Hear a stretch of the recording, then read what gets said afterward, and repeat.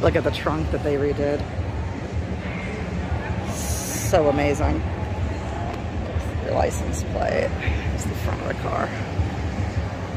Best part of the con for me so far, hands down.